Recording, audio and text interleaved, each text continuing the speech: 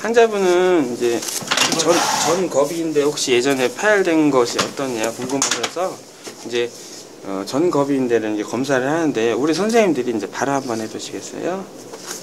이 전 겁인데는 초음파로 이제 시술을 그 검사를 할 때 이제 실자가 어떤 자세에서 검사를 하느냐에 따라서 아 루즈닝이 있다 파열이 됐다 엘롱게이션 늘어나 있다 정상이다 이 가지각색이에요 근데 그 선생님들께서 이제 먼저 알아두셔야 될 건 자 원래는 이힘 빼보시겠어요 이, 이 상태로 이제 먼저 하는 겁니다 그냥 편하게 편하게 이 상태로 해서 예, 살짝 대는 거죠 여기 살짝 대면 자 볼까요 가장 편한 상태면 plantar flexion이 한 30도 정도 돼 있는 상태거든요. 그때 초음파를 보시면 이렇게 약간 타이트합니다. 이- 이제 여기서부터 여기까지, 여기서부터 여기까지가 예, 이제 전 아니 ATFL 전거비인대인데요.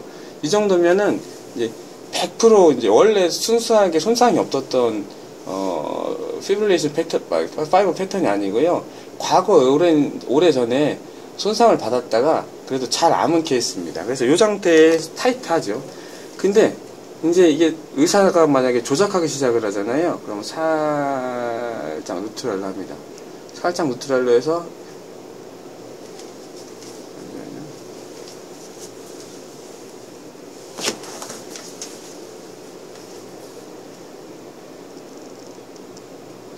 네.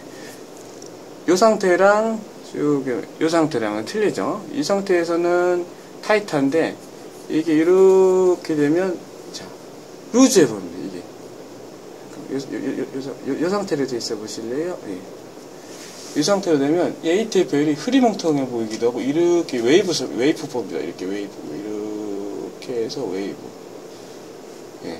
그리고 흐리멍텅해 보여요. 그럼 이거, 아, 넙처가 있다. 이렇게 오진하시면 안 됩니다. 지금 보면, 여기서 이렇게 웨이브 져 있죠.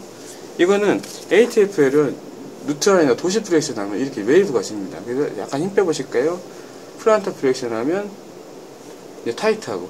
근데 어떤 분들은 또 internal rotation을 supination을 딱 해가지고 하시는 분도 있습니다. 이러면 어, 암만 elongation 돼 있어도 이 continuity만 있으면 붙어만 있으면 다 타이트한 걸로 보입니다. 이렇게. 어, 환자분은 확실하게 과거에 접질리셨다가요. 이, 이 페- 원래는 이 선명해야 되거든요.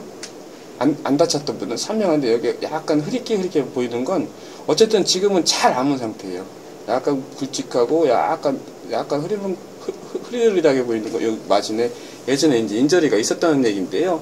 어쨌든 supination 하면 웬만해서는 다 타이트하게 보입니다. 그러니까 그렇게 해서 검사를 하는 게 아니라 자 힘 빼보세요. 환자분 그냥 neutral에서 그냥 neutral position에서 힘 쫙 빼면 약간 힘 빼보면 그러니까 plantar flexion이 자연스럽게 되거든요. 보통 한 20, 30도 정도. 그 상태에서 살짝 댔을 때 아, loosening이 없다. 그러면 아, 괜찮다. 그래서 이, 렇게 reduction 해보기도 하고 supination 하고 reduction 하고 supination 해서 이, 피- 이 talus가 얼마나 여기서 앞으로 빠지느냐 들어가느냐 그런 것 갖다 이제 instability 테스트도 같이 하기도 하고요.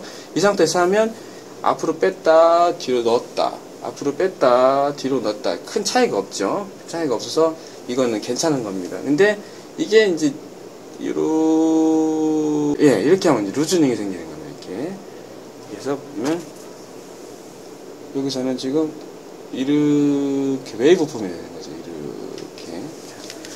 이거를 이제 찍어 놓으면 정상인 분을 아 얇아지고 loosening이 생겼으니까 이거는 lateral ankle instability다 이렇게 이제 진단을 내릴 수도 있어요. 그러시면 안 됩니다. 힘 빼시고요 다시 이렇게 이게 neutral 그리고 supination 이렇게 해서 변화를 확실하게 감지를 하셔야 되고요.